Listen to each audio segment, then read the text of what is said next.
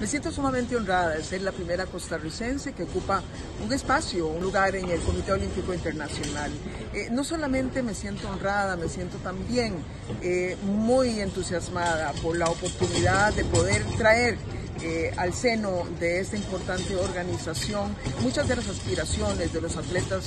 costarricenses y del Comité Olímpico Nacional.